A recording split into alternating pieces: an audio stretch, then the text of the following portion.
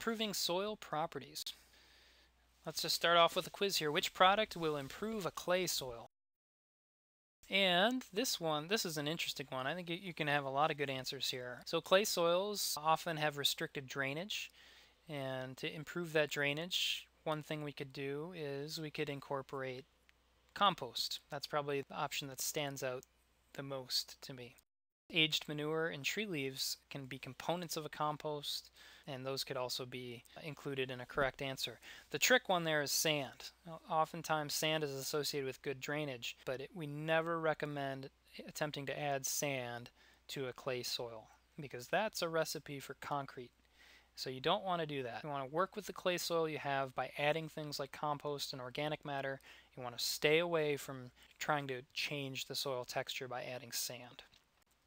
So adding organic matter does a lot of positive things and improves the water holding capacity of sandy soils, improves the nutrient supply, uh, reduces leaching of, of those nutrients because it's essentially a slow release fertilizer source, stimulates and increases microbial activity, which can lead to some disease suppression. So adding organic matter is a really beneficial process.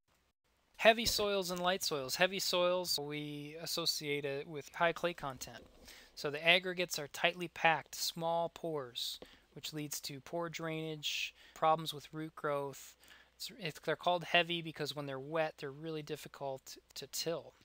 If we add organic matter to a heavy soil, we can improve the soil structure, get better soil crumb stability, we can in introduce some larger pore spaces which can help with the aeration and the drainage of that soil. Now if we have a sandy soil, often called a light soil because after a rain, very easy to till up relatively, aggregates are too big to pack tightly. So you have large pores, which means the water moves through really, really quickly. If we add organic matter to sandy soil or a light soil, we can increase the water holding capacity because that organic matter can act as a sponge and hold several times its weight in water. Learning how to compost and having a supply of compost is a really critical practice for being a good soil manager. Many different materials can be used for composting. You can see here this is a pretty fresh, young looking compost where you can still see some of the plant residues in there. And generally you want to have it more finished than this, where you hold it up and you don't see the, the fibers and some of the original inputs of that plant. Here's more what we're looking for. It looks a lot like a soil, has that soil smell to it, much more mature. So we have our mature compost here. We have it in a in this bucket and we can do things like mix it in to this. Let's say this is a clay soil. Mix it up with a shovel and amend that soil to improve its properties. This is a picture of an unamended soil, so three years of some plant growth here at the Cornell plantations, Cornell University plantations. These are the plants that are looking pretty, pretty thin.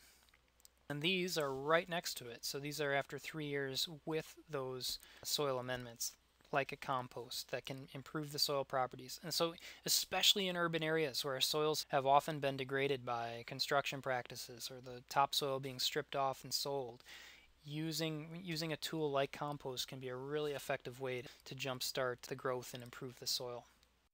So here's a zoomed out view from afar with the compost amended treatments in the middle and the two wimpy looking plants on the right there. So improving that those physical properties and chemical properties using compost can be an absolutely critical point to improving your gardening and the health of your lawn. So one thing in a lawn, you're obviously not going to have the opportunity to dig out the the garden and mix in the compost and put it back in. One thing that we've been doing for a number of years now is playing around with top dressing compost on top of these compacted urban soils and we've been having really good results. Compost provides a lot of nutrients and over time, after applications in the spring and fall for about three years, we made some dramatic improvements in the soil properties that we could measure. So it's not an easy thing to do. And so that's the, the biggest drawback is the amount of labor and the amount of material that's required to add compost uniformly over an area. So we're talking quarter inch, third of an inch in the spring, and then a, a similar amount in the fall. Use a rake to rake it in and repeat. So that top dressing of compost we found to be a relatively effective practice in lawns in ornamental areas and, and gardens, we know it's effective, uh, especially when incorporated throughout the root zone. So I think you will have later in level 1 training more in-depth detail on amending during some of the other lessons, so you, you'll learn more about that. But from a soils perspective, it's definitely one of the biggest tools that you can use to improve your soil properties. So with that, I thank you for your time. Again, my name is Doug Soldat at University of Wisconsin-Madison, and I am more than happy to answer questions or emails you have about your lawns or your soil, and I wish you happy gardening.